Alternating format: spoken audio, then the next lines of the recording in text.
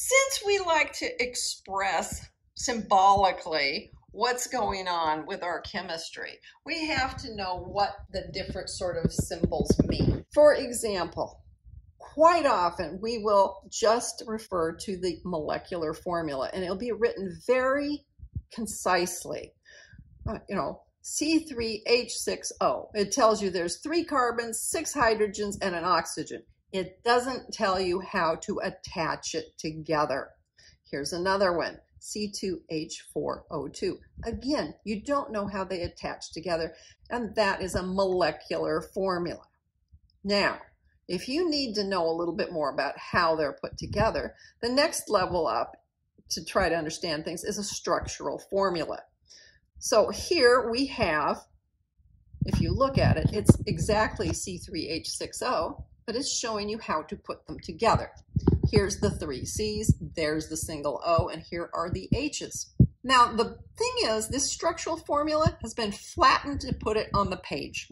So it does still suffer from a certain spatial inadequacy, but it does show you how they're put together instead of making you guess, like up here in the molecular formula. Here's the same thing for the C2H4O2.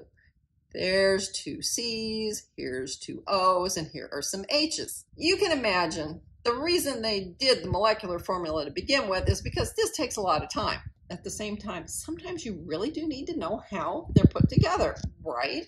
So someone came up also with what is called a condensed structural formula. So if you look here, you'll see that the way the C and the O are attached is repeated faithfully compared to the structural formula. But here at this end and this end, the CH3 is just written as one group. This is a methyl group and it's a very common grouping. And because of its very commonality, everyone knows, once they've learned it, that the CH3 really should be looking more like this.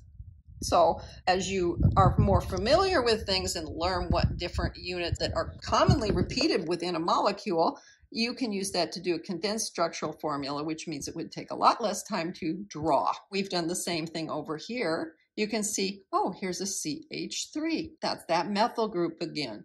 And it turns out the COOH is also a very common group, but they haven't completely condensed it here because they're probably not thinking you know about it yet because it's more of something you would encounter in organic chemistry. So they're not condensing it as much as they could. So when we're working with these uh, formulas and the structural formulas, which I said suffered from the problem of the fact that they were flattened, you can also get a model kit. And then a model kit will let you build a model so that you can see exactly how things are structured. You can see from this, even though the uh, condensed structural formula and the regular structural formula made it look like all of these things were right angles, you can tell for sure that they aren't when you see it in three dimensions.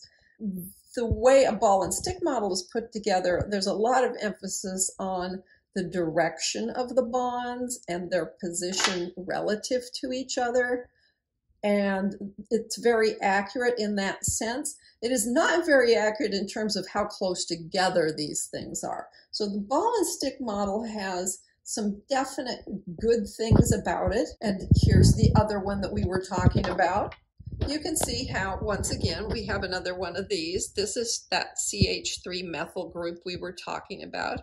And here's the COOH group. And you can see we have to put a double bond on it to show it properly. And you can see how they interact with each other and how they might be able to move in comparison to each other.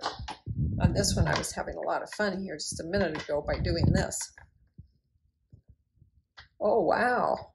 Who would have thought you could get all that motion out of there? But there, those are your ball and stick models. They're very good about getting the exact spatial orientations put together so that you can see them. The last thing is a space filling model. And in the models that they create um, online, they can make them even tighter than this. And the pictures that you see in your book indicate things tighter than this. But a model kit can also be used using these really short bonds to try to simulate the full extent of the space filling model. And this is a little more accurate as to exactly how crunched together everything becomes. We get from this, we would think that everything was quite spaced out from each other, and in reality, they aren't. All of the atoms are quite close to each other.